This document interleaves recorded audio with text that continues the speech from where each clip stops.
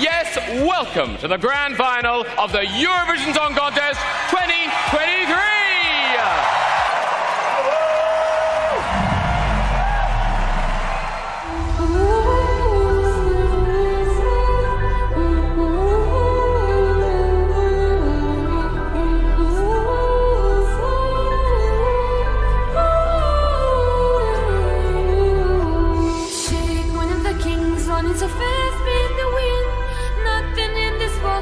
could the spread of a wind. She, queen of the kings, broken the cage through the keys.